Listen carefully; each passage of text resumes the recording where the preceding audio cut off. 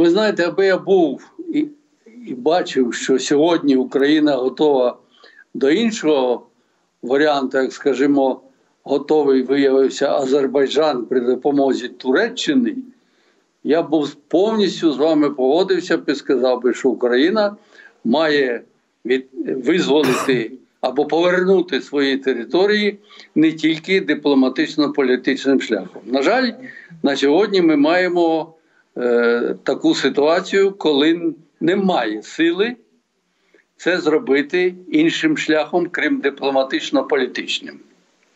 І тому, поки ми не, лаго, не налагодимо е, дипломатичні стосунки і не переконаємо наших е, друзів, наших партнерів на Заході, не побачимо конкретних більш рішучих дій Сполучених Штатів Америки, зокрема в використанні такого важеля, як санкції. Санкції до фізичних осіб Росії вони ну, діють дуже слабенько. І я ви, як ви чули, я вже запропонував, скажімо, санкцію відключення Росії від міжнародної розрахункової системи, платіжної системи. Є багато ще інших секторальні секції, повернення Росію колосальних боргів західним країнам за нові технології і багато багато іншого. Тобто ми повинні використовувати ті важелі, які сьогодні є реальними, незважаючи на наші бажання і коли і на наші ну, терпіння вже як кажуть уривається від цього всього, але ж реалії завжди сильніші від наших бажань. Це по-перше. По-друге, зараз е, це бачить не тільки, не тільки ми бачимо з вами, не тільки бачать патріоти України, це бачать уже всі люди, які розуміють, що іншого шляху немає. І тому е, Рада безпеки і оборони України, як ви, мабуть, е, читали, готує е, новий план дій на врегулювання ситуації на Донбасі. Який це буде план, я його ну, відверто скажу, ще не бачив, але знаю, що він буде планом більш конкретних, більш рішучих дій. І я хочу, щоб тут ми були єдині в оцінках і можливостях. Я розумію, що ми говоримо результатами сьогоднішнього дня, і що ці результати не є такими, якими можемо пишатися, що ми досягли миру. Але треба бути реалістами і вважати, що всі шість років, всі наголошую, шість років були і в нормандському форматі, і в мінській переговорній консультативній групі допущені допущені серйозні прорахунки і навіть помилки. І тому все зводити сьогодні до провини тільки Зеленського. Ну я е, думаю, це просто несерйозно. Це вже не є реаліями, а є політичними пере, пере, непередбачуваними позиціями. Тому давайте ми будемо реалістами і всі разом, коли йдеться про війну і мир, об'єднаємось. Я знаю, що і у вас є досвід, у нас є досвід, у нас в Україні є досвід. Леонід Макарович, маємо в нашій студії дискусії. Даємо слово нашим гостям, підсумовуючи те, про що ви сказали. Зараз РНБО напрацьовує якийсь новий план дій. Е, будемо бачити про що йдеться. Ну і також е, теж важливо про що сказав Леонід Макарович, що нам треба переконувати наших міжнародних партнерів. У мене лише виникає питання, чи ми це робимо? Те, що треба, ну якби це і ми тут розуміємо в цій студії, що треба було би це робити. Але от що зроблено в цьому переконанні? От в мене є запитання за цей рік, але я це просто риторично. Тарас Єлейко і дискусія. Е, пане президенте, щодо Азербайджану, він програв гру в 1994 році і готувався 16 років до цієї перемоги. І ми, ми говоримо про те, що він готувався. І він готувався своїми партнерами, ви правильно сказали, з Туреччиною. А у нас іде питання скорочення військ, оптимізації. Це означає, що ми таки примиряємо, ми е, схиляємо голову і говоримо, що ми програли, що ми переможені.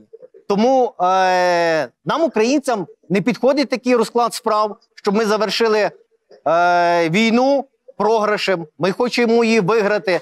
Для того, щоб її виграти, перемогти, ми маємо до неї готуватися, маємо затиснути паски, маємо казати, що е, біля того КПВВ, яке гарне збудували, щоб українці, які з окупованої території приїдуть на Україну, не дивилися на це гарне КПВВ і цю дорогу зробити. А ми маємо сказати, що ми зараз укріпилися і готові дати відсіч на кожну провокацію, навіть коли ми оголосили про перемир'я, і коли нас атакує ворог, ми йому маємо віддати відсіч п'ятикратно. Але для цього ми повинні набрати сили, набрати жиру.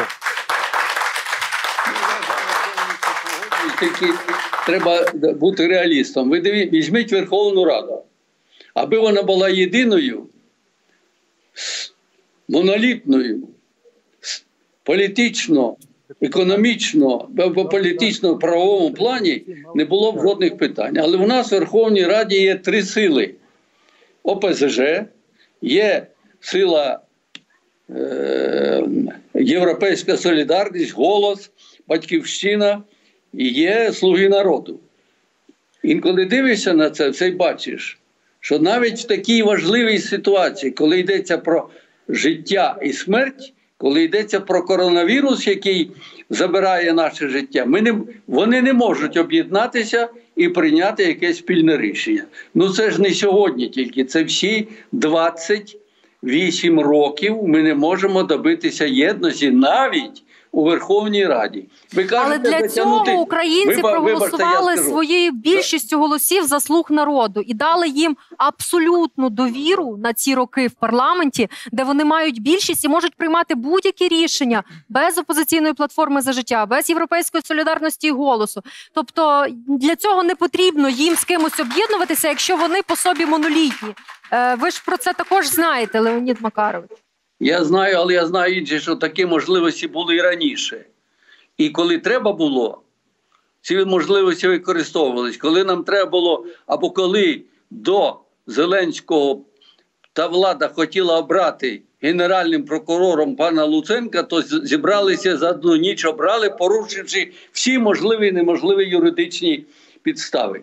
Була така можливість. Я хочу, щоб, щоб ми зрозуміли, що коли нам потрібно, а не нам, а комусь потрібно, то він робить все. А коли він думає тільки про себе, не, про Україну, то переносить вину на інших. Ми повинні об'єднати свої зусилля всі разом і не шукати винних. Ну от тоді виходить Леонід Макарович, от я коротке уточнення. Ви згадали про Луценка. Справді ця історія була. І тоді його протиснули. Протиснули Луценка без відповідної освіти, Ну, зібрались ну, проголосували. Виходить, що теперішній владі не потрібно протискати важливі рішення.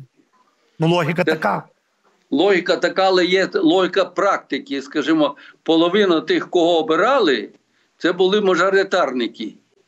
Їх не вивчили так, як потрібно вивчати кандидатів в депутати. І вони сьогодні грають вже свою гру. Ну це ж реалії. Ну як можна на них вплинути? Хай мені хтось скаже, коли немає законодавчого рівня, як вилучити цих людей, скажімо, не тільки з фракції, а й з Верховної Ради, які зрадили фактично про свої програми. Ну немає такого е, закону. Немає багатьох норм закону, які дозволяють це робити. Це ж не диктатура, а демократія. Добре, ми так, погоджуюсь. Микола Савєлєв, коротка репліка. Потім Леонід Макарович, я і відповість. Ну, Будемо коли- прощатися. Коли ми говоримо про мажоритарників, я маю на увазі зелених мажоритарників, це ми тепер можемо говорити, що вони розбились на олігархічні групи. Спочатку вони йшли такою масою, що не було навіть одного голосу, щоб хтось міг виступити проти. Можна було пробити любе голосування, в тому числі і по ОРДЛО. Тобто тут нас часто виникає питання там Будапештський меморандум. Давайте повернемося. Та одним з гарантій Будапештського меморандуму була хто? Росія. Ви до кого хочете? Ви до кого апелюєте? До Росії. І тому, коли сьогодні хтось каже, а ви знаєте, от Зеленський не може свою монобільшість зробити, тому що там були ще в попередні роки там неправильні рішення. Та при чому тут попередні роки? Сьогодні ми маємо ситуацію, коли зелені, власне, зелені, які можуть абсолютно правильно кажете, без голосу, без батьківщини, без ЄС, без ОПЗЖ проголосувати любе рішення, це рішення не голосують. Тому відповідальність мажоритарників собі набирали теж вони. Тому відповідальність не на Кушелинському, не на Савєлєві, ні на Лейкові, а відповідальність на тих, хто брав до себе цих мажоритарників. А їх там не було часу перевірити. Та їх ніхто й не перевіряв. Як той казав, зробило з того, що було. Так тепер хай і відповідає ті, хто їх набирав, а ніхто не хоче відповідати. Я з вами погоджуюся, але ви скажіть, сталося те, що сталося, те, що є сьогодні. Що робити далі? Можна говорити, що цього не зробили, і вони погані. Що робити далі? Скажіть, будь ласка. А ви Які що, пропозиції а, у влади в мене питання? Ні, ну ви ж кажете, що мажоритарники не такі, як треба. Я задаю запитання, що робити далі. Можна сказати, винна влада, але будемо жити як є. Влада не має вини за конкретного народного депутата, який має свою позицію і не має законодавчої бази для того, щоб позбавити його мандату. Ну немає в законі. Що робити? Дякую, Леонід Макарович. Ми зрозуміли вашу позицію. А, ну і справді це напевно добре, що ви, будучи афільованим до команди президента Зеленського, е, можете дозволити собі в прямому ефірі говорити про те, що ну. Не працюють мажоритарники, не, не, не зовсім такі слуги народу. Ми були, ну не всі такі, ми як були свідомі ситуації і робили все для того, не перекладаючи, не звинувачуючи одне одного, як це ми робимо всі 28 років, замість того, щоб йти вперед разом. Я про це саме кажу, а не про можливість сказати: от він винуватий, і вже маємо задоволення від цього.